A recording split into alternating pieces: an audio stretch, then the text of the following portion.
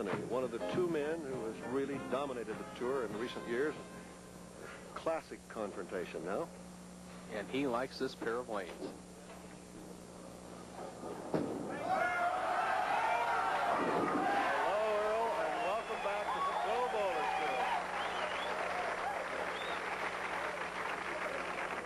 Tour. Arnie Goldman is going to have to do what we say is pump up. He's got his hands full. I know Earl Anthony, watching those first two matches, figures that all he has to do is show up sometimes to win. But remember, Arnie Goldman is bowling well, and by no means is he a pushover.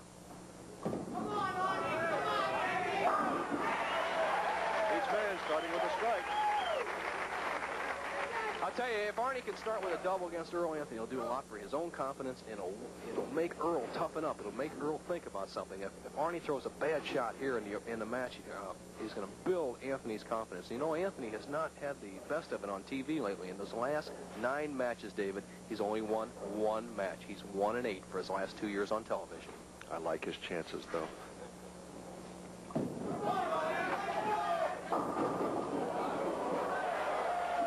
Thank you.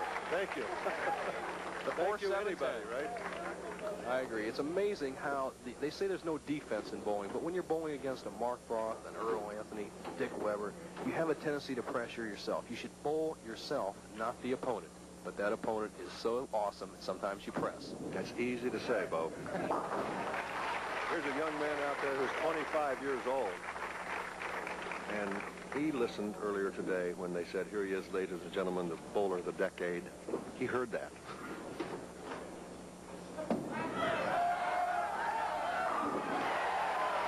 And he can see.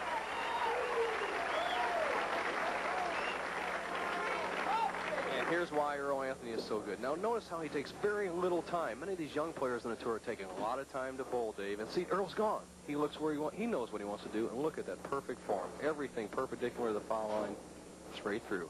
Earl Anthony's also doing what an experienced player should do. Get it way ahead when you can in the early part of the match.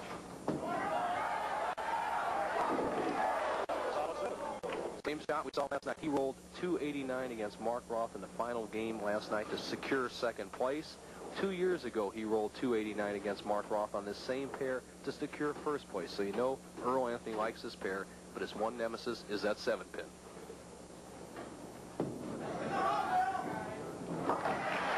Earl Anthony quickly out in front by nine pins over Arnie Goldman. And the first test of this match comes for Arnie Goldman. Arnie Goldman, the man they call the Space Cadet. Why did uh, they call him that, David? I'm supposed to ask you that. He just has a little different style than the rest of the players. Like, like they say downtown Racine, Ohio, he hears a different drummer, doesn't he? but he's bowling real well right now, David. Trails by nine, could even the matchup or even take a one-pin lead through four frames. You notice how this match has turned around. Since he changed balls, he's hit the right-hand lane very well. Now he's struggling a little bit with the left-hand lane.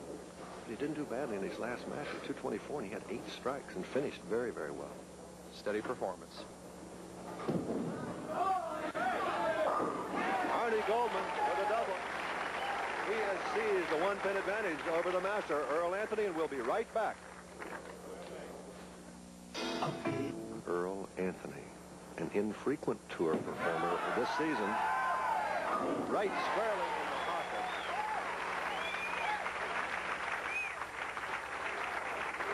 Earl Anthony, who's marks with his right foot, is standing approximately on the 20th board, the center board of the lane, and rolling the ball right around the first arrow. That's almost about a two-board head belly. Look at the position, power position, nice and smooth. Look at the extension with his arm swing. That's what Dick Weber was talking about, that his son son should be doing, stretching it out. Does Earl ever do it any differently? He looks almost mechanical. Look at it. Got a good break there. Knocked out the pin, David, that you picked up. The nemesis, Earl Anthony, is a seven-pin. He now takes a nine-pin lead. You know, I'm sure you've been on the tour with him for years, and I'm sure he must have an occasional slump, but every time I have seen him out here on the tour, it seems he's like a robot.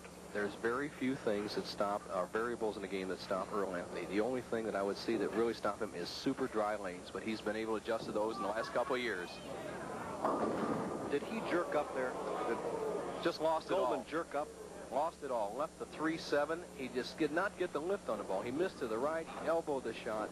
And look at the ball. Now, he got that ball back before from out there when the ball was lifted properly. But when you bend that elbow before you release the ball, no finish, and he got a disaster shot, 3-7.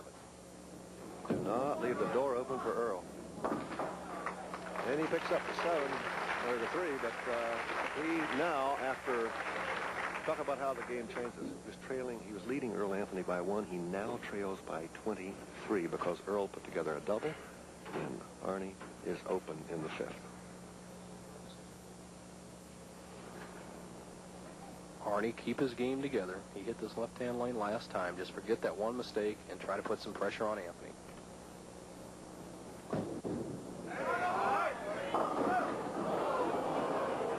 See you later, Dave. And you know what's causing this? Not so much Arnie Goldman. Earl Anthony.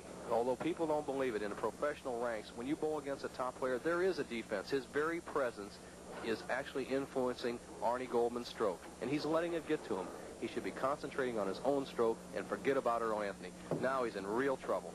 I suppose it's like a young pitcher comes out and he faces the old Boston Red Sox and he has to look up and find Ted Williams, number nine, a menacing figure there. I agree. They can be that way. Now look at her. He was staying down real well with the shot before there. He's letting his arm get away from his body.